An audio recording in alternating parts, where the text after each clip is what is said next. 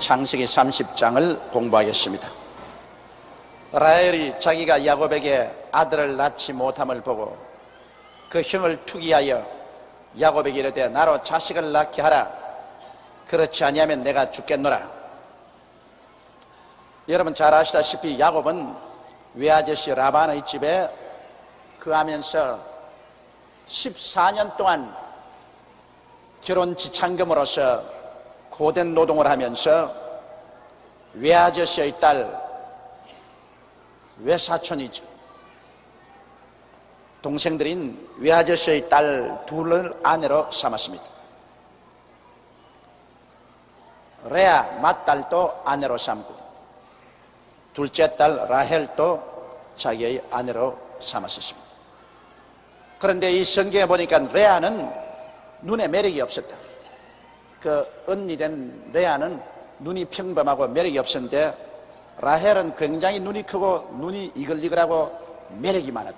그래서 야곱이 라헬에게 굉장히 반해서 동생 라헬을 뜨겁게 사랑하나 레아는 좀 못 본 채였습니다.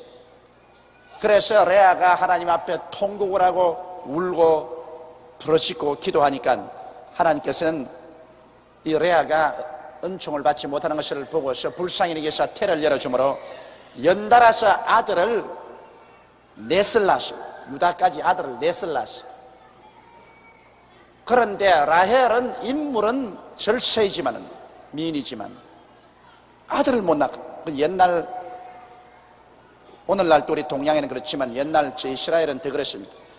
여인이 시집가서 아들을 못 낳으면 저주를 받았다. 그렇게 합니다 모든 사람이 저주받은 여자다 그렇게 생각했습니다 그러니 뭐 죽을 증입니다 언니는 아들을 너희나 낳았는데 동생인 라헬은 남편에게 총애를 받으면서도 아들을 낳지 못했습니다. 그래서 이 두 사람 사이에 무서운 질투의 불길이 타게 됐습니다. 이 하나님께서 신명기에 보면은 언니와 동생을 함께 아내로 삼지 말라. 그러면 서로가 시기한다고 말했습니다. 근데 이때는 벌써 율법을 주기 전에 일이었기 때문에 두 여형제가 한 남편을 섬기면서 살았기 때문에 그들 가운데 일어난 질투의 불길은 어마어마했었습니다. 여러분, 이 세상에서 가장 무서운 것이 이 질투입니다. 투기하는 마음이 생기면 그때는 눈에 아무것도 안 보입니다. 무슨 일이든지 저지를 수 있습니다. 사람을 투기나게 하지 말아야 됩니다. 한 형제 간에 부모가 자식을 기를 때로 편애하면은 사랑을 받지 못하는 형제들이 무섭게 투기합니다. 그래서 야곱의 열두 형제 중에 나중에 보면 야곱이 특별히 늦게 낳은 요셉을 사랑하니까 형제들이 투기해서 요셉을 잡아서 종으로 팔아서 보내버린 것을 알 수 있는 것입니다. 투기심이라는 것은 굉장히 무섭습니다. 이러므로 절대로 투기심이 일어나지 않도록 모든 일을 조심해서 해야 됩니다. 그런데 자 아내를 둘이를 데리고 사니까 어떻게 둘이를 똑같이 공평하게 사랑할 수가 있나요? 이 모슬렘 교회에서는 한 남자가 내 여자를 거느릴 수가 있다. 그러나 이 내 여자를 거느리는 조건으로서는 내 여자를 똑같이 사랑해 줘야 된다 그렇게 말합니다. 사람이 마음이 하나인데 어떻게 너희를 똑같이 사랑해 줘요? 그 중에 더 크게 사랑하는 사람도 있고 좀 덜 사랑하는 사람도 있지 어떻게 똑같이 사랑할 수 있겠습니까?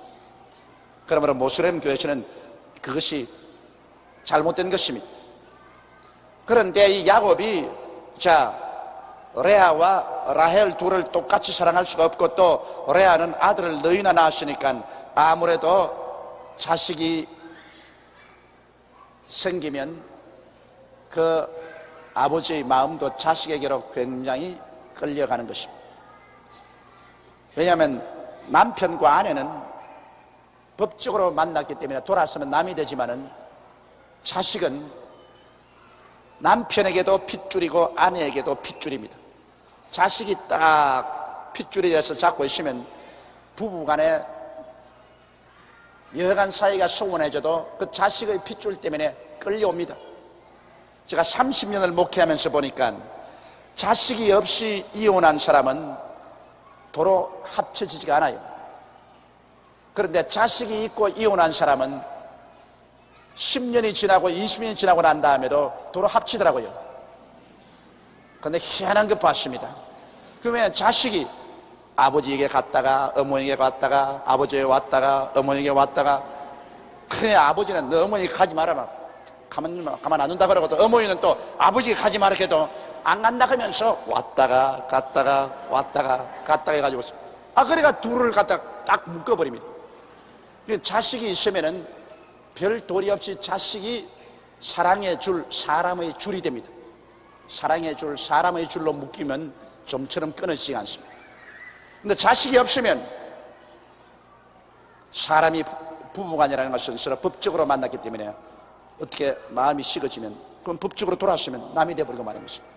이래서 레아는 인물이 못났지만은 아들을 너희나 낳아줬으니까 그 아들에게 끌려가지고서 아버지가 점점 이제는 레아에게로 기울어집니다. 라헬은 아주 눈이 이글이글하고 아주 인물이 좋고 매력이 있었지만은 그러나 실제 결혼해서 살아보면 매력 있는 것은 얼마 안 가서 큰 효과 없어요. 연애할 때 효과가 있지. 처음 결혼할 때 굉장히 효과가 있지. 실제로 살면은 누가 제일 매력이 있느냐? 음식을 잘 만드는 사람이 제일 매력이 있습니다. 나는 그거 정말 옛날 우리 아버님이 제게 그런 말씀을 하셔요. 저희 아버님께서 남자의 사랑은 위장에서 나온다.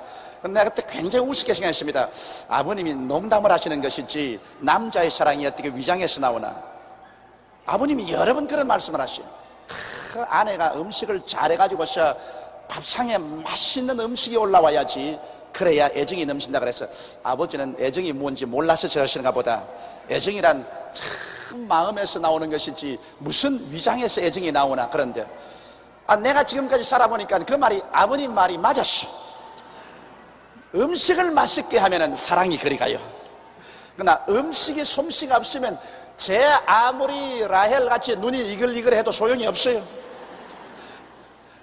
음식이 맛있어야지. 아침 먹고 점심 먹고 저녁 먹는데 음식을 잘 만들면 이물보다도 음식 잘 만드는 것이 훨씬 낫다고요. 오래 같이 사는 데는. 그저 간단히 처음 연애하는 데는 이물이 좋지만은 그러나 오래 사는 데는 마음 좋고 음식 솜씨 좋고 그리고 아들 쑥쑥 잘 놓으면 그건 뭐 별 도리 없습니다. 그리 끌려갑니다. 그래서 경쟁에서 이제 레아가 이기기 시작합니다. 레아는 인물은 못났지만은 마음도 좋고 음식 솜씨도 좋고 아들도 너희를 낳으시니 그만 야곱이 자꾸 이제 레아 집을 찾아갑니다. 그러니까 라헬이 아예 그냥 질투가 나서 견디지 못해요. 라헬이 자기가 야곱에게서 아들을 낳지 못함을 보고 그 형을 투기했습니다.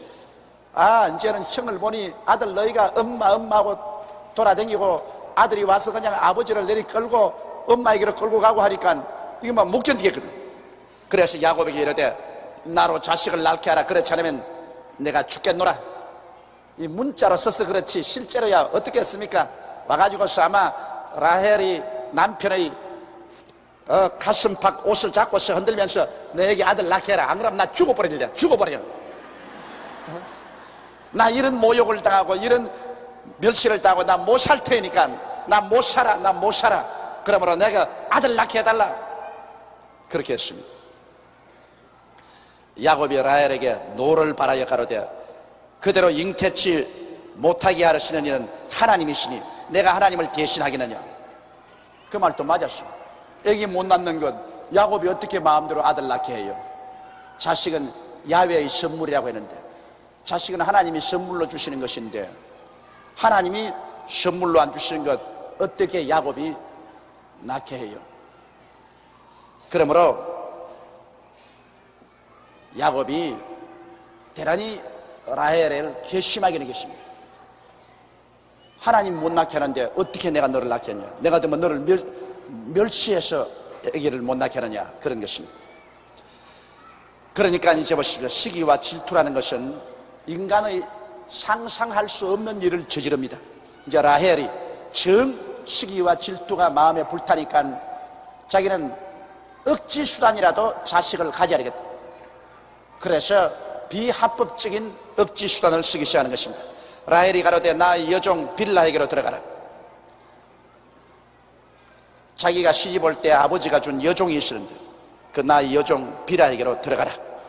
그가 아들을 낳아 내 무릎에 두르면 그러면 나도 그를 인하여 자식을 얻겠노라. 이 얼마나 고집을 부렸겠습니까? 나는 자식이 없으니 내 종 빌라에게로 들어가서 내게 자식 낳아달라. 난 직접 내가 자식을 못 낳으면 내 종을 통해서라도 내 자식을 얻어서 내 무릎에 얹겠으니까 자식을 낳아다오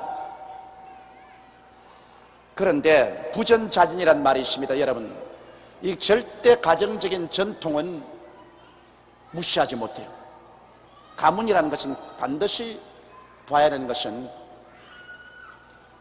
누가 자기 종을 또 남편에게 두어서 자식을 낳게 했습니까? 야곱의 혈통에 할아버지거든. 할아버지 아브라함이 아들을 못 낳았을 때 그 할머니 사라가 그 여종 하가를 할아버지에게 주어서 이스마엘을 낳게 했거든.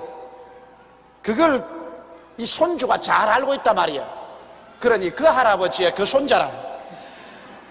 아, 그런 일이 없었으면 딱 고집을 부릴 것인데, 허? 할아버지도 그랬는데, 내가 못 구할 건 뭐 있어? 내가 뭐 할아버지가 더 위대하냐? 우리 할아버지는 위대한 하나님의 종이요 하나님의 친구였는데 할아버지도 뭐 우리 할머니 여종 데려다가 이스마엘 낳았는데 뭐 내 할아버지보다 못한 놈이니까 그 못할 리가 있나? 이거 여러분 가문의 전통이라는 것은 굉장히 무섭습니다. 할아버지가 한 일 아버지가 쉽게 하게 되고 아버지가 한 일 그 아들이 쉽게 하게 되는 것입니다. 그렇기 때문에 자식을 장가 보내거나 시집 보낼 때 가문을 부어야 된다는 이유는 그게 있습니다. 뼈, 이 뼈가 말을 합니다. 이 성경에도 보면은 그 사실이 여기에 뚜렷이 있지 않습니까? 아무리 라헬이 요구를 하더라도 일격에 부인해버리면 그건 괜찮아요. 안 그럴 수도 있어요. 그러나 그의 잠재의식 속에 우리 할아버지 그렇게 하는 걸 내가 보았기 때문에 뭐 괜찮은가 보다. 난 뭐 할아버지가 낳은 자식이냐? 그래서 그런 빌라를 또 첩으로 받아들인 것입니다. 그 시녀 빌라를 남편에게 첩으로 주매 야곱이 그에게로 들어갔더니 빌라가 잉태하여 야곱에게 아들을 낳은지라 라헬이 가로되 하나님이 내 억울함을 푸시려고 내 소리를 들어서 내게 아들을 주셨다고 이로 인하여 그 이름을 단이라 하였더라. 이 억울함을 풀었다는 말이 바로 단인 것입니다. 그래서 라헬이 자기 여종 빌라를 야곱에게 주어서 아들을 낳으시니 그 아들의 이름이 단입니다. 자기 여종을 통해서 난 아들을 라헬이 품에 안고 이제 나는 원, 원통함을 풀었다. 나도 자식이 있다. 그리고 굉장히 그 라헬이 마음에 어, 위로를 받았었습니다. 그러나 훗날에 보면은 여러분 이 단 지파가 우상을 숭배해서 하나님을 버리고 동방으로 동방으로 따라가다가 사라져버리고 말았습니다. 단 지파가 사라졌어요. 이 정상적인 사고방식에서 낳은 자식이 아니었기 때문에 그 무언가 그 지파에 삐뚤어짐이 있어서 나중에 이 단 지파는 우상을 숨기고 이스라엘 가운데서 사라진 지파 중에 하나인 것입니다. 또 라헬이 가로되 내가 아, 라헬의 시녀 비라가 다시 잉태하여 둘째 아들을 야곱에게 낳으며 라헬이 가로되 내가 형과 크게 경쟁하여 이겼다고 그 이름을 납달리라고 하더라. 납달리란 말은 경쟁한다는 말인 것입니다. 그래서 자기의 여종을 통해서 라헬이 아들 둘을 연속적으로 낳았습니다. 그래서 이제는 막 이기양양합니다. 이 보십시오. 사람이 시기와 질투가 들어오면 체면 볼 것 없습니다. 윤리와 도덕 볼 것 없습니다. 그냥 수단과 방법을 가르지 않고 시기와 질투를 하면 복수를 하려고 하는 것입니다. 시기와 질투라는 것, 이거 굉장히 무서운 것입니다. 여러분, 그렇기 때문에 우리가 시기와 질투를 반드시 크리스찬은 이 마음속에서 제거해야만 되는 것입니다. 그 구절에 보면 이제 또 이제 레아 차례입니다. 레아가 자기의 생산일 멈춘 것을 보고 자 레아가 자기는 아들 너희 놓고는 지금 아들 못 낳는데 저쪽에서 자꾸 연달아서 하나 놓고 둘 낳고 하니까 이거 또시기가 생겼습니다. 일하다가 또 남편 또 뺏기겠다. 그래서 그도 아 동생이 시녀를 주는데 나도 못 줄 거는 뭐이냐? 그래서 그 시녀 실바를 취하여 야곱에게 주어 첩을 삼게 했더니 레아의 시녀 실바가 야곱에게 아들을 낳음에 레아가 가로되 복되도다 하고 그 이름을 가시라 하였으며 가시라는 복이란 말인 것입니다. 그 여종이 또 아들을 낳았다 레아의 시녀 실바가 둘째 아들을 야곱에게 낳음에 레아가 가로되 기쁘도다. 모든 딸들이 나를 기쁜 자라 하리로다 하고 그 이름을 아셀이라 하였더라. 그래서 레아와 라헬이 서로 시기하고 경쟁하는 바람에 그 여종들까지 첩으로 야곱에게 주어서 아들은 수없이 낳기 시작합니다. 결국에는 이래서 열두 아들이 나왔고 이 열두 아들이 이스라엘의 열두 지파가 된 것입니다. 사람은 잘못해서 이런 결과를 냈지만 그러나 하나님은 인간의 잘못을 오히려 합동해서 선을 이루도록 만드시는 것입니다. 이것이 하나님의 그 넓고 크신 마음인 것입니다. 하나님을 사랑하는 자, 곧 그 뜻대로 부르심을 입은 자들에게는 모든 것이 합동하여 선을 이룬다고 결국 인간의 잘못이 하나님의 손길로 말미암아 선하게 만들어요. 야곱이 두 아내와 두 첩을 통해서 열두 아들을 낳았는데 이것은 어느 면으로 보나 그 레아와 라헬의 시기와 질투 때문에 이루어진 한 연극인데 그러나 하나님은 오히려 그것을 변화시켜서 열두 아들을 통해서 이스라엘이라는 하나님을 경외하는 선민을 만드는 기초석을 삼은 것입니다. 열두 지파가 바로 이 열두 아들에게서 나온 것입니다. 14절에 보면 맥추 때 루벤 즉 레아의 맏아들입니다. 맥추 때 보리 빌 때 루벤이 나가서 들에서 합한 채를 얻어 어미 레아에게 드렸더니 라헬이 레아에게 이르되 형의 아들의 합한처를 청구하느라 이 합한처라는 것은 우리 한국에서는 어떤 것인지 모르겠어요. 그러나 이스라엘에서는 이 무슨 그 미신이 있느냐면 합한채를 먹으면 아들을 낳는다는 미신이 있습니다. 그래 들에 가서 아들 못 낳는 사람은 합한채 꼭 도마도 비슷한 열매인데 그 합한채를 구해서 먹으면 아들을 낳는다. 근데 이 합한채가 좀처럼 귀하고 많지 않아요. 그런데 아이 보리벨 때쯤 돼가지고서 루벤이 어디 갔든지 합한채 하나를 구해가지고서 집에 가져와서 자기 어머니 레아에게 주니까 아 라헬이 어린애기를 못 낳았지 않습니까? 그러니까 어찌한지 자기도 아기를 낳아보고 싶어서 언니에게 나가셔서 말했습니다. 레아에게 이르되 형의 아들 합한채를 내게 좀 다오. 그러니까 레아가 그에게 이르되 내가 내 남편을 빼앗은 것이 작은 일이냐? 그런데 내가 내 아들의 합한 채도 빼앗고자 하느냐? 어림도 없는 소리 하지 마라. 너 인물 좋다고 해서 우리 남편 빼앗은 것도 내 마음에 상처가 깊은데 그래 이 합한 채조차도 네가 가져 먹겠다고 어림없는 소리 하지 마라. 안 준다. 라헬이 가로되 그러면 형의 아들의 합한 채 대신에 오늘 밤에 내 남편이 형과 동침하리라 하니라. 남편하고 합한 채하고 바꿨습니다. 어? 남편이 요사이는 또 자기에게 아주 좋게 해서 자기와 함께 동거하고 있는데 그 합한채 주면은 오늘 우리 남편 너에게 언니에게 빌려주겠다. 그래서 합한채를 남편 하루째 빌려주는 것을 조건으로 해서 자기가 얻어서 먹었습니다. 그럼 합한채가 정말 효과가 있는지 없는지 모르겠지만 그때 그 전통으로서는 합한채를 먹으면 아들을 낳는다. 그런 말이 있었습니다. 16절에 저물 때 야곱이 들에서 돌아오며 레아가 나와서 그를 영접하며 이르되 내게로 들어오라. 내가 내 아들의 합한치로 당신을 산노라. 그 밤에 야곱이 그와 동침하였더라. 야곱이 바쁘게 됐어. 바쁘게 됐어. 레아에게 끌려갔다가 라헬에게 끌려갔다가 레아의 종에게 끌려갔다가 라헬의 종에게 끌려갔다가 얼마나 정신적으로 번잡하고 바쁘겠습니까? 그리고 아마 그 야곱의 몸에는 성한 데가 없을 거예요. 꽃에 피어가지고서. 내 여자에게 꽃이 피었었으니 뭐 어디 성한 데가 있겠습니까? 평안히 일생을 살 수 있는 야곱이 굉장한 아마 정신적인 시련을 겪었을 것입니다. 그래서 하나님이 레아를 들으셨으므로 그가 잉태하여 다섯째 아들을 야곱에게 낳은지라 야합한채 빌려 주고도 그저 아들을 낳았습니다 레아가 가로되 내가 내 시녀를 남편에게 주었으므로 하나님이 내게 그 값을 주셨다고 그 이름을 이사가리라 하였더라. 값이라고 했는데 시녀를 주었다고 해서 하나님이 이쁘게 보고서 아들 준 것은 아닙니다.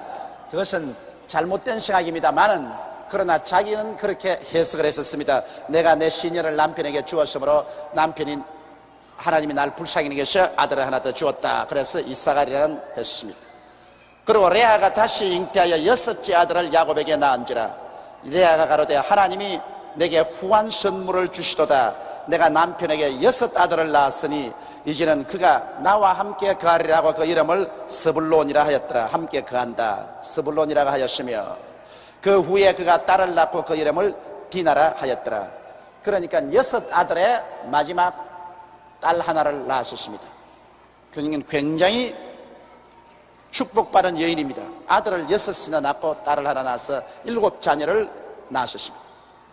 하나님이 라헬을 생각하신지라 하나님이 그를 들으시고 그를 태를 여신 거로 합한 채를 먹어서 그런지 모르겠지만은 그 합한 채를 먹고 난 다음에 아기를 못 낳는다는 이 라헬이 이제 하나님의 긍휼하심을 받았습니다. 하나님이 너무 불쌍히 여기셔서 하나님이 그를 들으시고 그 태를 여신 거로 그가 잉태하여 아들을 낳고 가로되 하나님이 나의 부끄러움을 씻으셨다 하고 그 이름을 요셉이라 하니 저기 요셉이라면 보태어 주었다 그 말인 것입니다.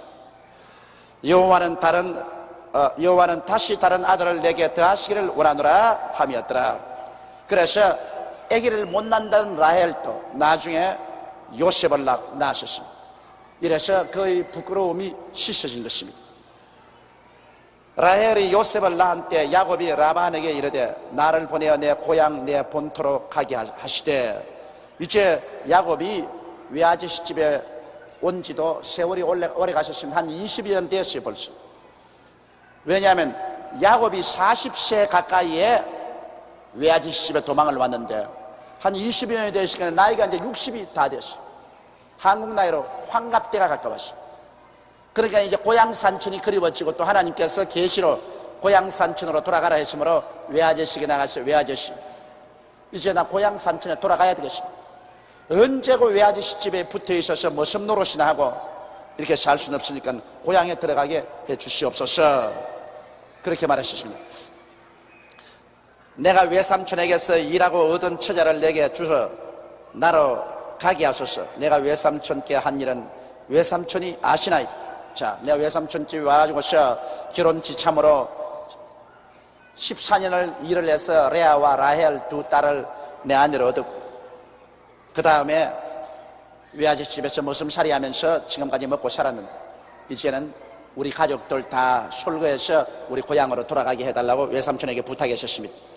라반이 그에게 이르되 여호와께서 너로 인하여 내게 복을 주신 줄을 내가 깨달았노니 내가 나를 사랑스럽게 여기거든 유하라 자, 여기 외아저씨가 깨달은 것은 야곱이 오기 전에는 외아저씨의 집은 별로 부하지 못했습니다. 짐생 때도 별로 많지 않고 별로 부자가 아니었는데 야곱이 와서 한 20년 동안 일해주는 동안에 집이 크게 부흥이 되어서 굉장한 부자가 되었다.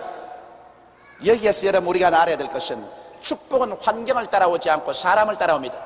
성경은 복 있는 사람은 복 있는 사람은 이라고 말했지. 복 있는 환경은 이라고 말하지 않습니다. 사람이 복이 있으면요.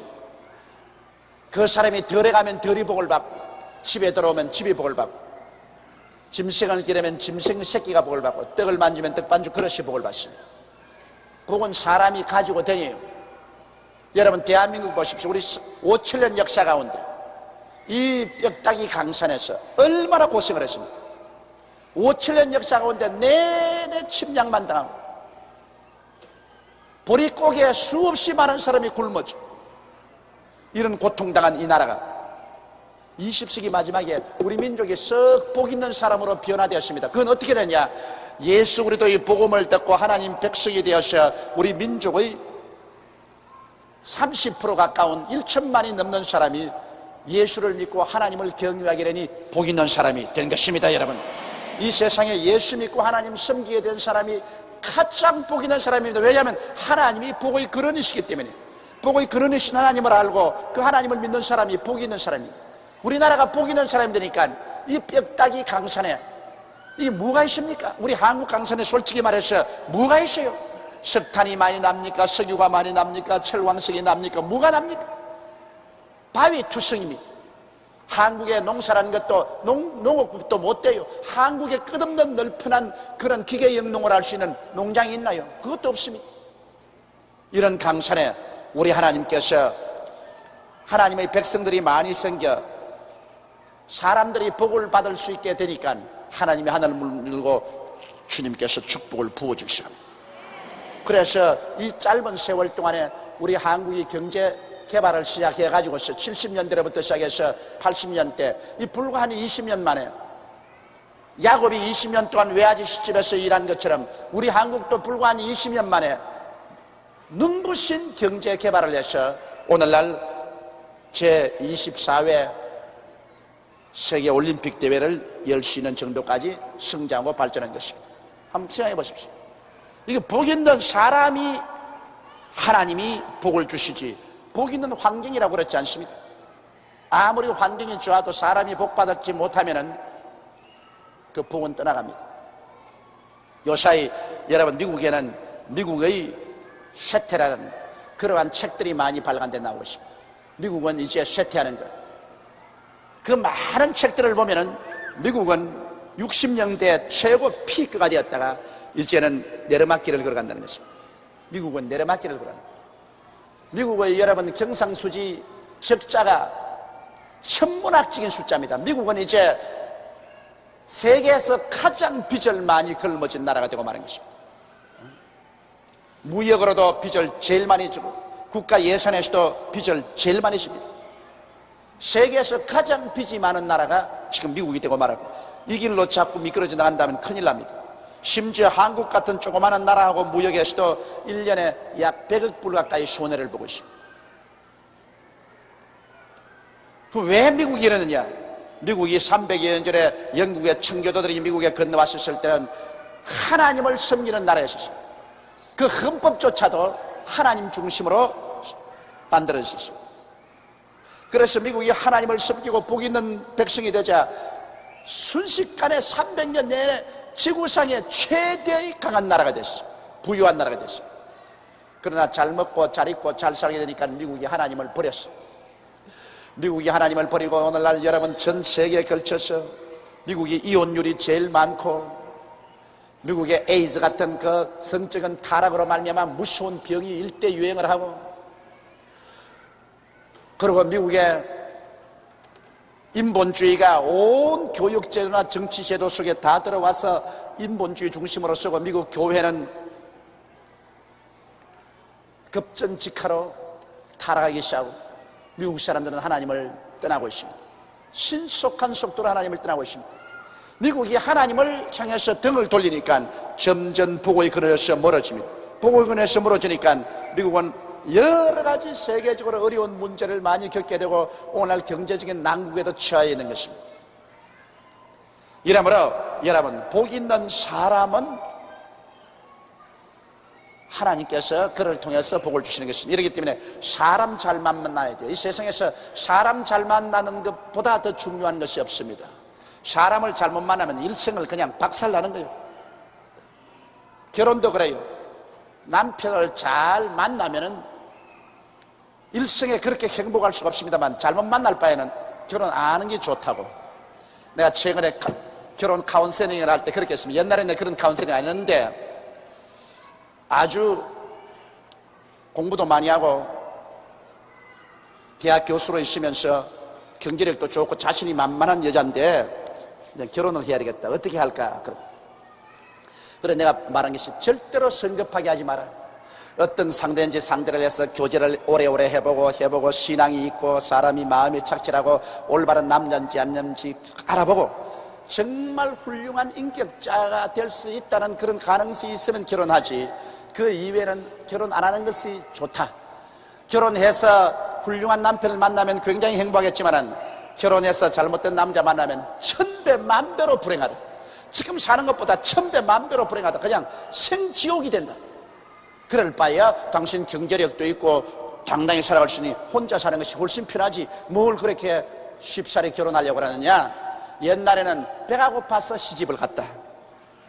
그래가 남편에게 발길로 차이고 쥐어 박히고 하면서도 눈물을 뚝뚝뚝 돌리면서 그 밥 좀 얻어 먹으려고. 실제로 그렇습니다. 그렇게 얻어맞고 해도 배가 고파서 집을 못 떠났어. 배가 고파서. 그거 바로 내가 목회하는 우리 세대에서 바로 그랬다고요 그랬는데 이제야 여성들도 여러분 나가서 활동하면 밥 먹어요 밥 먹어.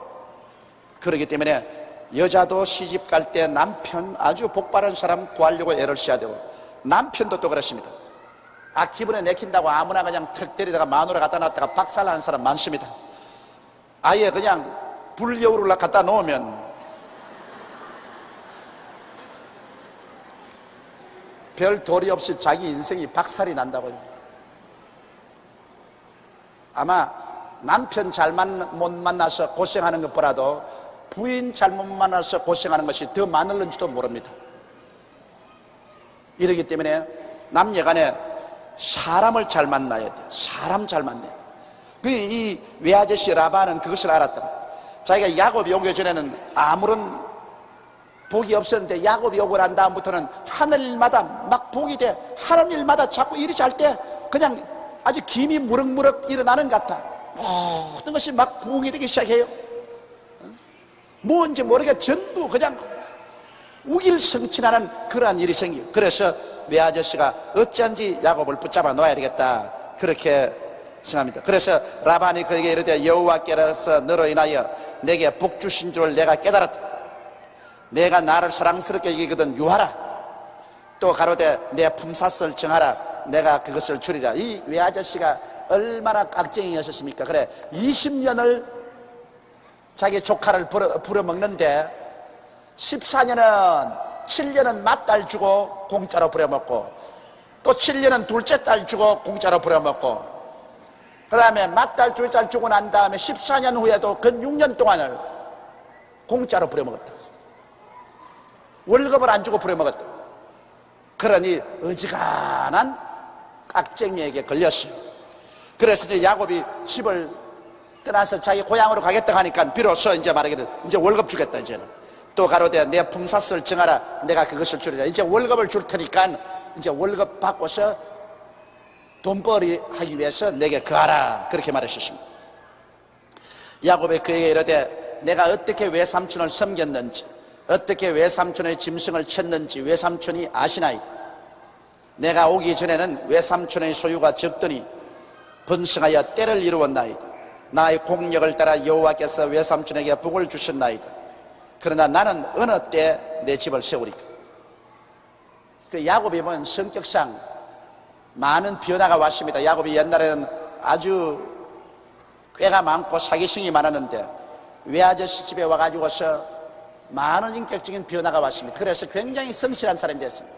눈이 오나 비가 오나 더우나 추우나 그런 열심으로 외아저씨 집의 짐승떼들을 잘 돌봐 주었습니다. 그래서 외아저씨 집 짐승떼가 늘어지고 큰 부자가 되었는데 자 외아저씨는 이렇게 잘 살게 됐는데 나는 여태까지 이제 나이 60이 되도록 아직 나는 내 집도 이루지 못하고 내 재산이라는 아무것도 없다. 나는 언제 내 재산 한 미천 해가지고서 고향으로 돌아가리까? 라반이 가로되 내게 무엇으로 내게 주랴? 이제 이제 둘이가 이제 흥정을 합니다. 야곱이 가로되 이제 야곱이 외삼촌이 얼마나 무지무지한 각제인 줄 알기 때문에 외삼촌이 절대로 뒤로 물러설 수 없는 그러한 약속을 합니다. 물론 야곱은 하나님께서 야곱에게 그런 지혜를 주셨습니다. 야곱이 가로되 외삼촌께서 아무것도 내게 주실 것이 아니라 나를 위하여 이 일을 행하시면 내가 다시 외삼촌의 양떼를 먹이고 지키리이다. 오늘 내가 외삼촌의 양떼로 두루 다니며 그 양 중에 아롱진 자와 점 있는 자와 검은 자를 가리어내며 염소 중에 점 있는 자와 아롱진 자를 가리어내리니 이 같은 것이 나면 나의 삭시 되리라. 후일에 외삼촌께서 오셔서 내 품삭설 조사하실 때 나의 의가 나의 표정이 되리라. 내게 혹시 염소 중 아롱지지 아니한 자나 점이 없는 자나 양 중 금지 아니한 자가 있거든 다 도둑질한 것으로 인정하소서. 이 말은 무슨 말이냐면 자, 내 월급을 달리 정할 것이 아니라 내가 외아저씨 양을 치는, 치는, 치는데, 양과 염소를 치는데, 그 중에 얼룩덜룩이 양이나 얼룩덜룩이 염소란 외아저씨가 다 거두어가지고서 다른 데로 옮겨버리십시오. 나는 양떼도 순수한 색깔의 양떼, 염소도 순수한 색깔의 염소를 기르겠는데 그들이 새끼를 낳을 때 얼룩덜룩이를 낳으면 얼룩덜룩이는 그건 내 월급으로 만들어줍니다. 순수한 색깔이 나오면은 그건 전부 외아저씨 것이고 내가 기르는 양이나 염소 중에서 얼룩덜룩이가 나오면 얼룩덜룩이는 나의 월급으로 외아저씨가 치소서. 그 아주 외아저씨 듣기에는 굉장히 귀가 솔깃한 말입니다. 왜냐하면 여러분 보세요. 아주 흰 양들과 흰 염소들이 얼룩덜룩 새끼를 낳기는 낳겠지만 그렇게 많이 낳을 확률은 없거든. 그러므로 모든 얼룩덜룩이는 다 옮겨버리고 순수한 흰 색깔의 양떼와 염소떼만 내가 돌볼 테니까 그들이 얼룩덜룩이 새끼를 낳는 것은 내 월급으로 정해 주소서. 어, 라반이 가만히 들으니까 계약치고는 참 좋은 계약이라. 그렇지. 뭐 순수한 색깔이 얼룩덜룩이 새끼를 낳아도 몇 마리 낳겠노. 그래서 라반이 가로되 내가 내 말대로 하리라. 그렇게 이제 둘이 약속을 따겠습니다. 그날에 그가 수염소 중 얼룩무늬 있는 자와 점 있는 자를 가리고 암염소 중 흰 바탕에 아롱진 자와 점 있는 자를 가리고 양 중에 검은 자들을 가려 자기 아들들의 손에 붙이고 자기와 야곱의 사이를 사흘길이 떼게 하였고 야곱은 라반의 남은 양떼를 치지라. 그래 얼룩덜룩이를 다 거두어 가지고서 사흘길을 걸어간 거리로 옮겨서 라반이 자기 아들들에게 그것은 다 맡겨놓고 그 다음 순수한 색깔은 야곱에게 맡겨놓았습니다 그런데 여러분 사람의 힘과 능으로는 할 수 없어도 하나님이 하는 일이 생깁니다. 이것이 우리가 하나님께 배워야 돼요. 하나님이 축복을 해주시면 사람으로는 할 수 없을 때 하나님 할 수 있다고. 야곱은 순수한 색깔의 짐승떼를 기르면서 거대한 얼룩덜룩이를 낳게 하는 하나님의 비결을 배웠었습니다. 왜냐하면 하나님께서 야곱을 축복해 주실 것을 야곱은 알고 있기 때문에 야곱은 하나님의 축복을 받는 마음의 그릇을 준비를 했습니다. 오늘 우리는 여기에서 하나님의 축복의 비결, 바라봄의 법칙을 배울 수가 있습니다. 예, 야곱이 이제 외아저씨가 떠나고 난 다음에 버드나무와 살구나무와 심풍나무의 푸른 가지를 취하여 그것들의 껍질을 벗겨 흰 무늬를 내고 그 껍질 벗긴 가지를 양떼가 와서 먹는 개천의 물구유에 세워 양떼에게 향하게 하며 그 떼가 물을 먹으러 올 때 새끼를 베니 가지 앞에서 새끼를 뱀으로 얼룩 얼룩한 것과 점이 있고 아롱진 것을 낳은지라. 자 이제 야곱이 이제 얼룩이를 낳게 하는데 어떻게 하느냐?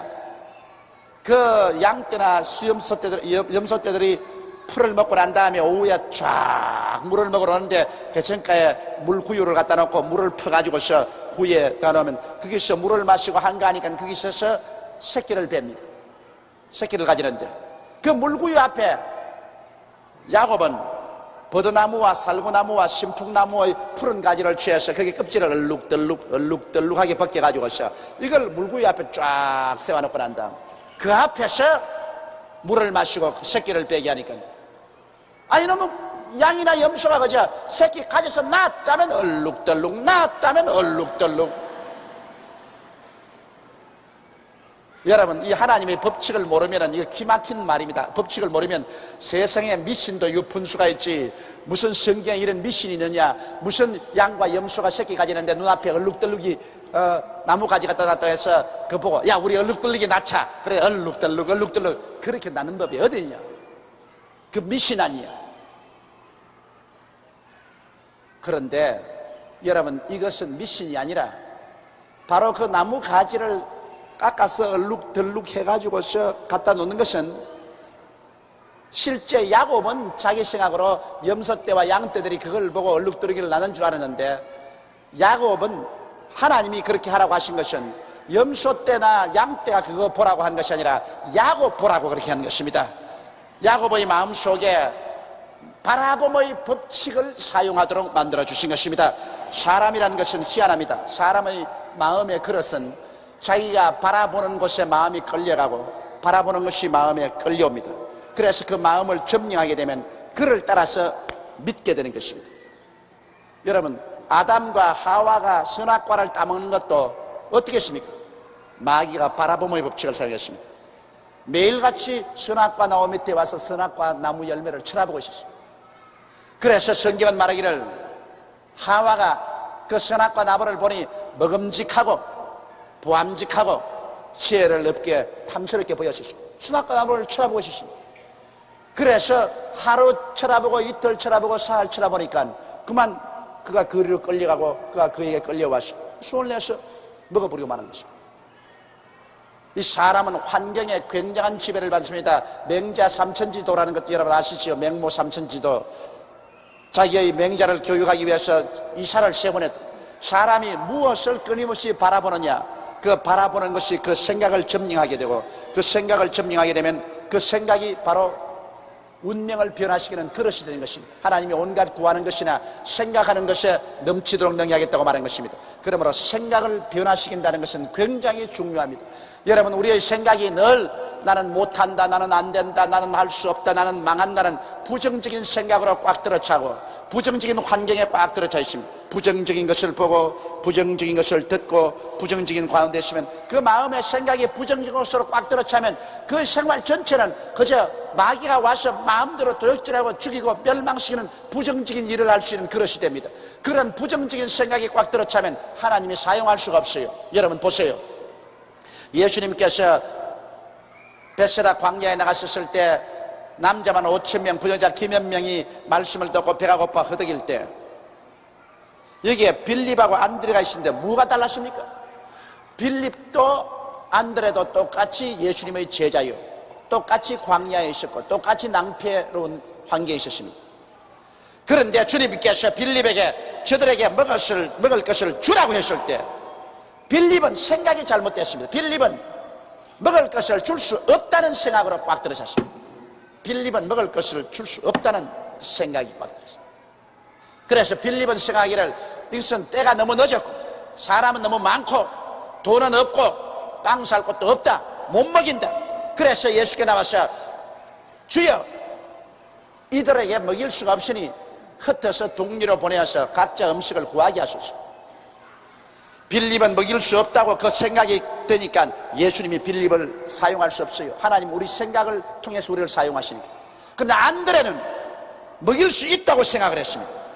주님께서 말씀하셨으므로 먹일 수 있다고 생각했기 때문에 그는 뭘 먹을 그 이유를 찾았습니다. 군중에 돌아다니면서 어린아이의 점심 도시락에서 보리떡 다섯 개와 물고기 두 마리를 가지고 와서 그 형편없이 조그마한 거 아닙니까? 부끄럽지만은 주님 보리떡 다섯 개와 물고기 두 마리를 가지고 왔으니 이걸 가지고 주님께서 뭘 어떻게 좀 할 수 있지 않겠습니까? 안드레는 생각이 빌립보다 달랐습니다. 그는 어떻게 되었든 하나님의 능력으로 먹일 수 있을 테니까 먹여보자고 작정했습니다. 할 수 있다, 하면 된다, 해보자고 달라드는 것입니다.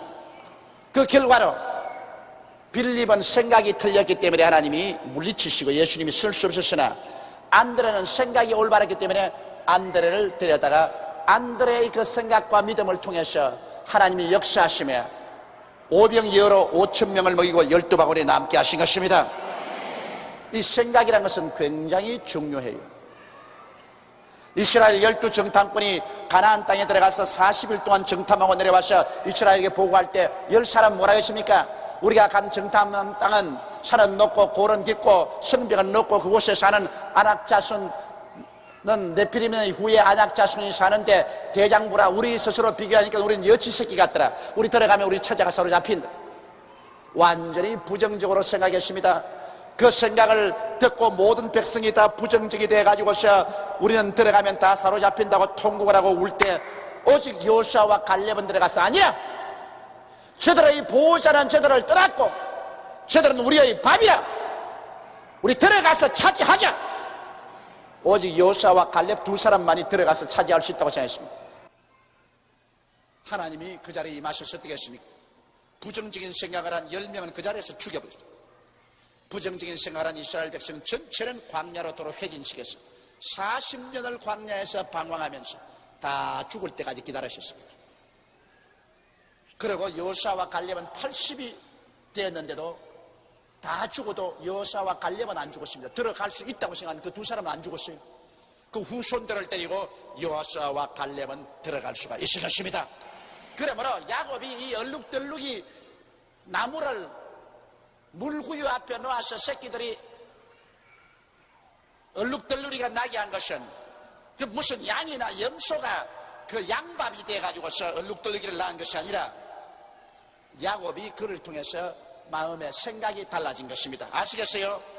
바라봄의 법칙을 통해서 야곱의 생각에 이제 새끼만 놓으면 얼룩덜룩이 낳는다. 새끼만 놓으면 얼룩덜룩이 낳는다. 그 마음의 생각이 달라지자 달라진 생각을 통해서 믿음이 달라졌습니다. 하나님 앞에 그는 기도할 때 믿었습니다. 하나님이여 이것이 낳으면 얼룩덜룩이를 낳을 줄 믿습니다. 바라봄의 법칙으로 생각이 달라지고 믿음이 달라지니까 그 믿음을 통해서 하나님 뭐라고 말하십니까? 내 믿은 대로 될지어다. 내 믿은 대로 될지어다. 믿음은 생각이 믿음으로 변화되는 것입니다. 생각이 믿음으로 변화돼요. 생각과 믿음이 딴판이 아닙니다. 죽는다고 하는 사람 속에 산다는 믿음은 안 생깁니다. 병든다고 하는 생각에 건강한 믿음은 안 생깁니다. 가난하다고 생각하는데 축복받는다는 믿음은 안 생겨요. 생각이 믿음의 바탕이 되는 것입니다. 그래서 야곱은 자기의 생각을 바꾸기 위해서 그래서 얼룩덜룩이 푸른 버드나무와 살구나무와 신풍나무 가지를 갖다 놓은 것입니다. 그래서 야곱이 턱 새끼 가지는 장면을 바라보고 있을 때 그 마음속에 이 새끼도 얼룩덜룩이다. 저 새끼도 얼룩덜룩이다. 자기 마음에 생각하는 거예요. 그리고 하나님 감사합니다. 얼룩덜룩이 미습니다. 얼룩덜룩이 미습니다. 아 그런데 낳았다면 얼룩덜룩 낳았다면 얼룩덜룩 외삼촌이 가끔 가다가 하면서 와보는데 막 기절 초풍을 하게 됐습니다. 이거 웬 말인고 얼룩덜룩이는 다 옮겨놓고 흰색깔만 치게 했는데 이놈의 흰색깔들이 나았다면 얼룩덜룩 나았다면 얼룩덜룩이니 와 이거 내 팔자에 와 이거 내 팔자에 이거 웬일이고. 그런데 또 야곱을 보십시오. 야곱이 새끼 양을 구분하고 그 얼룩무늬와 검은빛 있는 것으로 라반의 양과 서로 대하게 하며 자기 양을 따로 두어 라반의 양과 섞이지 않겠다. 그러니까 야곱이 이제 얼룩덜룩이는 따로 딱 해가지고서 이제 잘 먹이거든 얼룩덜룩이는. 열심히 자기 것은 열심히 그래서 공산주의가 안 된다는 말이 그게 있습니다 여러분 공산주의가 뭐 주체 사상이 개 목닥이고 해샀지만은 그 여러분 공산주의 하는 것은 공산주의는 사유재산이 없어요 공산주의는 다 함께 일해가지고서 다 함께 나누어 먹는 것입니다. 그러므로 처칠이 말한 것처럼 공산주의는 다 함께 가난해지는 주의가 공산주의다. 그럼 부자는 없어요. 전부 정부가 생산수단도 정부가 다 가지고 있고 그리고 백성들은 정부의 완전히 노예입니다. 백성들은 시간의 자유가 없습니다. 거주의 자유가 없습니다. 정부가 원하는 그 자리에 가서 정부가 시키는 그 일만 해가지고서 그래가지고 공평하게 노놉니다. 여러분 듣기에는 공산주의가 굉장히 좋은 것 같지만은 오늘날 소련도 공산주의를 떠나고 지금 중공도 공산주의를 떠나고 있습니다. 왜? 사람이 일을 해야 말을 하지. 짓기 아닌데 누가 일을 해요? 짓기 아닌데. 내가 우리 성도에게 최근에 이런 이야기 들었어요. 자기 집을 전세를 주었는데 제법 깨끗하고 정원도 있는 집을 전세로 주었는데 가보면 마당에 풀이 이렇게 쌓이고 막 집 집 소재를 안 해서 집이 형편없다 그러거든. 그래가 막 가슴을 쳤는데, 그래가 막 주인 보고 자꾸 사라 그랬대. 지금 사라고, 사라고.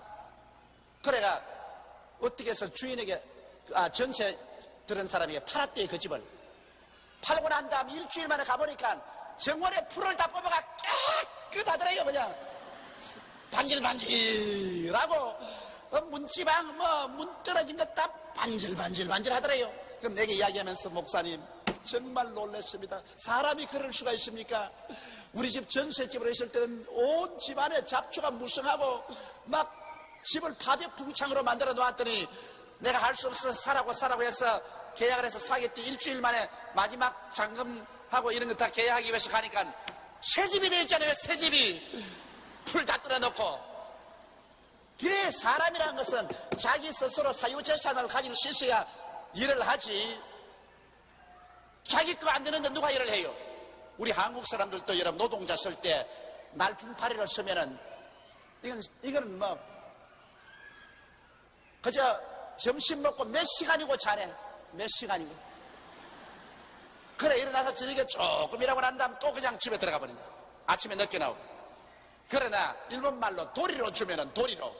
이게 한, 한꺼번에 이게 얼마라고 딱 계획해주면은 죽을까 겁난대요 죽을까봐. 막 눈에 불을 켜고 새벽부터 나와가지고 서 점심도 먹는다 만다 저녁까지 그냥 허리가 부러지도록 일을 하는 거라 그냥. 왜? 빨리 해놔야 돈을 더 많이 벌겠다고. 그러므로 여러분 공산주의라는 것은 인간의 근본적인 욕구를 모르는 것입니다. 공산주의 사회라는 것은 너무너무 못 살아서 너무너무 가난해서 막 이판저판 사판일 때 에라 나눠 먹자. 그건 공산주의가 돼요. 그러나 조금 잘 살게 되면은 그 누구를 불러하고 자기가 뼈 빠지게 일하는 것은 자기 사유재산이 되어야 사는 재미도 있고 어 그렇게 하죠. 그러므로 우리 한국은 이제 공산주의 되기는 틀렸습니다 여러분 우리 한국은 벌써 GNP가 3천불 가까이 되어서 그래도 무언지 모르겠다. 내 것이라고 가지고 있어요 조그만한 요런 바구니에 새 알을 가지고 새알 달걀이나 알 몇 개를 가지고 있어요. 요건 내 거다 하고. 그럼 공산주의 안 돼요. 내끼 아무것도 없어야 공산주의가 되지. 내끼 있는데 왜 공산주의가 돼? 그러므로 요사이 뭐 대학생들 공산주의 하자고 해서 하면 내가 보면 참 기가 막힙니다 소련도 공산주의 그만두려고 하고 미국 어, 저 중공도 공산주의 그만두려고 하는데 왜 새삼스럽게 공산주의 하자 그럽니까? 여러분 보십시오. 이 야곱도 공산주의를 하니까 외아저씨 거는 안 돌반다가요? 외아저씨 것은 자기는 치기는 치되 따로 해놓고 자기 것 얼룩덜룩이는 따로 딱 갖다 놓고 난 다음 온갖 정신을 다 기울여서 얼룩덜룩이만 자꾸 먹여가지고서 자꾸 얼룩덜룩이만 새겨놓게 하지 여기에 보더라도 사람의 성격을 너무나 잘 알 수 있습니다 남의 것은 등한히 내기고 내 것은 악착같이 돌본다 그게 인간의 본성이죠 별 도리 없지 목사도 그렇다고요 미안한 말이지만은 다른 교회 교인들이 목사님 아프다고 뭐 신방 좀 와달라 하면 나 요사이 옛날엔 좀 갔지만 요새는 안 가요. 아, 우리 교인도 많은데 왜 나무 교회 가? 당신 목사에 가라고. 당신 목사. 그 사람이 어찌할 도리 있어. 내가 그래서 이러면 안 되지. 이건 나쁘지. 내가 주의 종으로서 이러면 안 되지 싶어도 이게 뭐 팔이 안으로 굽지 밖으로 굽나 뭐 별 도리 없지 뭐. 어, 우리 성도라면은 그건 내가 해도 마음이 즐거운데 남의 성도로 돌봐주면 이건 내가 실컷 해봤자 무슨 소용이 있노? 나무 좋은 일만 하는 건 아니냐? 그런 잘못된 생각이 생겨요. 목사는 그런 생각 하지 말아야 되는데 아직 내가 인간이 덜 때서 그런 생각이 납니다만 이제 예수님 오실 때쯤 되면 나도 바른 사람이 될 줄 믿습니다. 41절에 보면 실한 양이 새끼 뵐 때는 야곱이 개천에다가 양떼 눈앞에 그 가지를 두어 양으로 그 가지 곁에서 새끼를 빼게 하고 자 보십시오 실한 둑실둑실한 실한 양과 염소가 새끼를 넣으면 얼른 갖다 가지 딱 갖다 나와요 얼른 갖다가 그러고 난 다음에 바라봄의 법칙으로 얼룩뜨기를 놓게 하고 약한 양이면 그 가지를 두지 않으니 비들비들하고 시들시들한 양이 새끼 가지면 그 치워버려 왜냐하면 시들시들한 새끼 나오면 곤란하니까. 이러므로 약한 자는 라반의 것이 되고 실한 자는 야곱의 것이 된지라 이에 그 사람이 심히 풍부하여 양떼와 노비와 약떼와 나귀가 많았더라. 자 보십시오. 그래서 이 사람이 나중에는 막 거대한 부자가 됐어요 그건 왜냐? 바라봄의 법칙인 것입니다. 이 바라봄의 법칙이란 대단히 중요합니다 여러분 사람이 생각이 어떠하면 그 인간도 그러하다고 우리 바라봄의 법칙을 잘못 사용하면 그 사람 뼈 빠지게 일을 해도 그 일함으로 말미암아서만이 반드시 대가가 나오는 것은 아닙니다. 내가 올바른 바라봄의 법칙을 사용해야 되는 것입니다. 그런데 야곱은 여기에 버러나무, 살구나무, 단풍나무, 신풍나무의 푸른 가지를 취해서 놓았지만 은 여러분 오늘날 우리 시대는 다른 나무가 있습니다. 그 다른 나무가 뭔지 압니까? 27년 전에 십자가에 올라가서 피를 흘린 갈보리 십자가 나무가 있습니다. 갈보리 십자가 나무도 얼룩덜룩이 나무예요. 예수 그리스도의 피로서 얼룩덜룩 얼룩덜룩해졌습니다. 갈보리 십자가 나무는 예수 그리스도의 십자가의 보혈로 얼룩덜룩 되었지만은 이 갈보리 예수 그리스도의 십자가의 나무를 우리가 얹어 놓으면 큰 변화가 일어나는 것입니다. 죄를 지은 사람은 갈보리 십자가에서 예수님이 우리 죄를 대신해서 피를 흘려서 그 십자가의 나무를 피로 얼룩지게 했습니다. 그러므로 어떠한 죄를 지은 사람이나 남녀 노유 빈부 귀천을 불구하고 예수님 앞에 나와서 죄를 회개하고 그 십자가에 피 흘린 얼룩덜룩이를 바라보고 기도를 하면 모두 다 죄가 용서 안 받고 마는 것입니다. 그 모든 과거와 현재의 죄가 다 용서를 받고 하나님 앞에 의롭다는 사람이 됩니다. 갈보리 십자가를 통하지 않고 죄사함을 받을 자 없어요. 죄 아무리 수양을 하고 도덕을 해도 인간의 수양과 도덕으로 여러분 죄 없이 되는 사람 이 세상에 아무도 없어요. 인간 스스로 여의로움이란 썩은 걸레 같아요. 오직 예수 그리도의 십자가 얼룩덜룩의 그 피, 죄 없는 하나님의 아들 예수님이 오셔서 죄 있는 우리를 대신해서 십자가에 몸짓고 피를 흘려서 그 얼룩덜룩이 피로 물들게 하는 갈보리 십자가 그 십자가 앞에 나와서 예수로 그리스도를 바라보고 기도할 때 우리의 죄는 깨끗이 용서를 받습니다. 그렇기 때문에 우리가 예수를 통하지 않고는 구원을 받을 수가 없어요. 세상에 종교가 많습니다. 종교 그 자체는 나쁘다고 할 수 없어요. 종교는 다 좋은 사람 되고 좋은 일하라고 하는 것입니다. 좋은 사람 좋은 일 한다고 구원을 받는 것은 아닙니다. 여러분 오직 우리의 그 끝없이 많은 죄를 용서 안 받는 이름 이것은 예수님의 십자가 보배로운 피밖에 없습니다. 이러므로 십자가의 피로서 룩진 그 나무를 우리가 바라보고 기도할 때 우리는 늘 용서를 받고 늘 의로움을 얻을 수가 있는 것입니다. 또한 예수님은 십자가에 얼룩진 그 보배로운 피를 통해서 하나님과 우리 사이에 화목을 가지고 왔었습니다. 하나님과 우리가 죄로 말미암은 원수가 되어서 여러분 부르짖어도 하나님은 대답하지 않습니다. 그러나 예수의 십자가의 그 얼룩진 보배로운 피를 통해서 하나님께 나아가서 기도하면 그 보배로운 피가 하나님과 우리 사이에 원수된 담을 다 흘어버린 것입니다. 그러므로 하나님께 기도할 때 언제나 십자가에 얼룩들룩한 그 보혈을 가지고 나가게 되시기를 주의 이름으로 축원합니다. 아버지여 십자가에 못 박인 예수 그리도의 보혈을 통해서 아버지께 나옵니다. 기도할 때 그 얼룩들룩이가 모든 원수된 것을 제껴버리고 하나님과 화목하게 하고 그 증거로서 하나님의 성령으로 우리에게 충만하게 채워주시는 것입니다. 화목의 증거는 하나님의 성령인 것입니다. 하나님의 성령이 내 속에 충만해지는 것입니다. 여러분, 우리가 십자가 앞에 나와서 예수 그리도의 얼룩덜룩이 보혈을 의지하고 기도를 할 때 효과가 있지. 십자가 보혈을 의지하지 않고 뭐지 혼자 돌아다니면서 나는 하나님 믿는다. 십자가 보혈 없이 하나님 믿어봤자 아무것도 안 생겨요. 십자가 보혈을 의지하고 기도해야 용서받고 십자가 보혈을 의지하고 기도해야 성령 받고 그 다음 십자가 보혈을 의지하고 기도해야 병도 낫는 것입니다 여러분 몸이 병들어서 고생하는 사람 예수께서 우리 연양을 신친히 담당하시고 병을 짊어지고 가신 것을 믿고 그 십자가에 우리 병을 짊어지기 위해서 피를 흘리신 얼룩덜룩이 십자가를 바라보고 십자가를 바라보고서 주님께서 반드시 그 십자가를 통해서 병을 고칠 것을 믿고서 얼룩덜룩이를 바라보고서 내가 기도를 하면 십자가의 보배로운 피의 능력으로 우리 병이 낫는 것입니다. 그리고 우리 생활의 저주도 그래요. 예수께서 십자가에 못 박여 피를 흘림으로 우리의 저주를 다 짊어지셨습니다. 그러니까서 우리를 위하여 저주를 바람받으사 율법의 저주에서 우리를 속량하였으니 이는 나무에 달린 자마다 저주 아래 있는 자라 하였음이라고 했었습니다.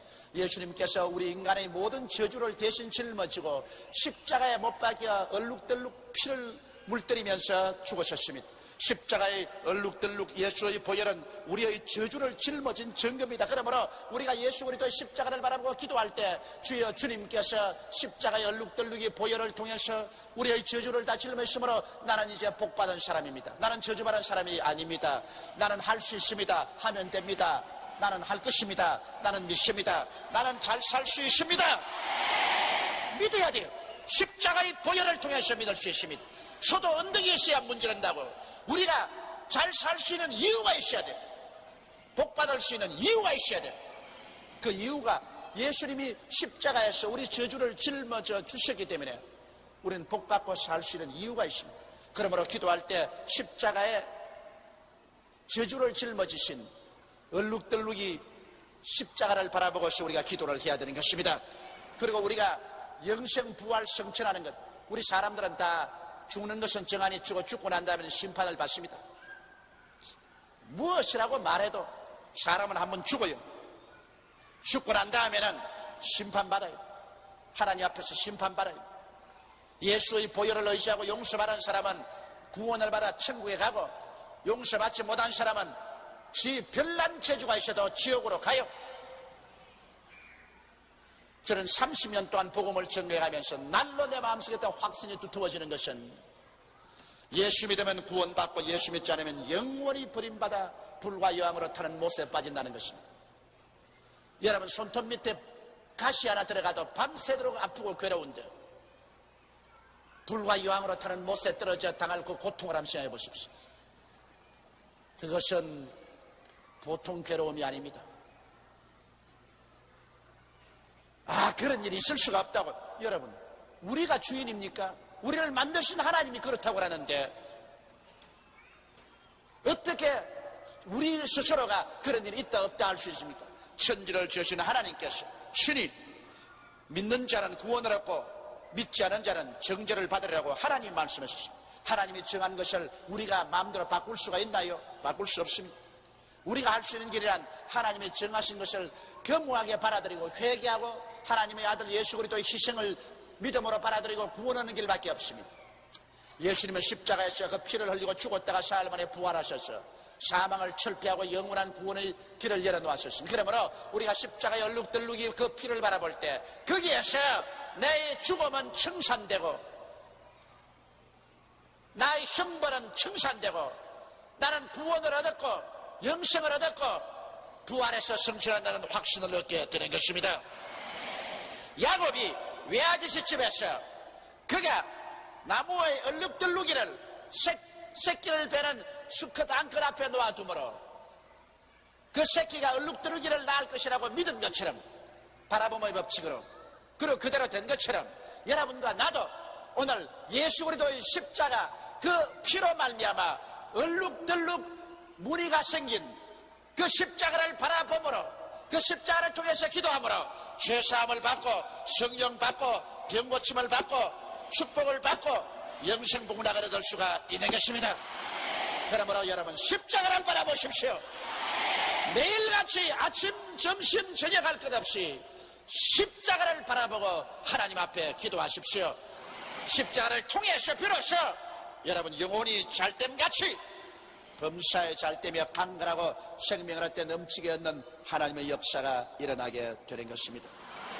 그리도의 십자가 중심으로 사는 그 사람이 참으로 인생을 살면서 행복하게 살고 어디서 와서 왜 삶이 어디로 가는 것을 알고 이 세상 살 동안에도 하나님과 함께 살고 이 세상 떠날 때 하나님 계신 영원한 천국으로 들어가게 되는 것입니다. 이와 같이 십자가 중심으로 하나님을 깨달으면 그 사람이 이제 확신이 있습니다. 인생에 동남풍이 불고 서북풍이 불어도 가시밭길 걸어가도 칠흑같이 어두워도 두렵지 않습니다. 하나님이 나와 같이 계시는데 내가 겁날 게 뭐냐? 그렇지 않습니까? 성경에는 하나님이 우리를 위하시면 누가 우리를 대적하리요? 천지를 지으신 하나님이 내 편에 서 있고 나와 같이 계시고 내가 하나님과 같이 있는데 세상이 나를 어떻게 합니까? 세상이 나를 멸하지 못합니다. 내가 하나님께 버림을 받으면 그때야 절망이지. 내가 하나님을 버리면 그때야 절망이지. 하나님과 같이 하시는데 여러분 우리가 절망할 수가 없습니다. 하나님과 같이 한 사람은 매일매일 운명의 파도를 헤치고 다가오는 장애물을 뛰어넘고 고난을 헤치면서 예수 이름으로 기도하고 이겨나가는 것입니다. 너희 안에 계신 이는 이 세상에 있는 일보다 크다고 말하셨습니다. 여러분 속에 계신 하나님은 세상에 있는 그 무엇보다도 큽니다. 하나님을 믿음으로 밀고 나가면 믿음으로 밀고 나가면 못할 일이 없습니다. 할 수 있거든이 무슨 말이냐? 믿는 자에게는 능치 못하심이 없나니라. 내 믿은 대로 될지어다. 할렐루야! 여러분 야곱 보십시오. 똑같은 야곱인데 하나님이 법칙을 사용하기 전에는 그런 외아지 집에서 20년 머슴살이 하면서 아무것도 가진 것 없는 거지였었습니다. 그러나 그가 하나님의 법칙을 깨닫고 그 바라봄의 법칙을 사용하자 똑같은 야곱인데 법칙을 사용하자 그는 한때, 두 때, 세때 바다의 모래 같은 많은 양떼를 그려진 짐승떼를 거느린 거대한 부자로 변화되었어 이게 양양의 고향 땅으로 돌아갈 수가 있었습니다. 다 같이 예수 믿고 천당 가는 사람들 그러나 믿음의 법칙을 사용하면 이 땅에 사는 동안에 영혼이 잘땡같이 범사에도 잘되고 강건해서 하나님의 은총을 받아 좋은 일 많이 하고 좋은 일 많이 하고 그리고 천당 갈 수 있는 것입니다.